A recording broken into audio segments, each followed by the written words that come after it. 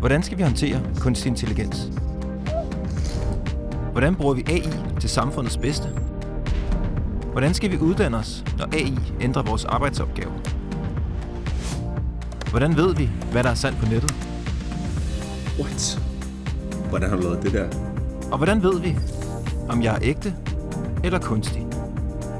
Kunstig intelligens kræver ægte mennesker.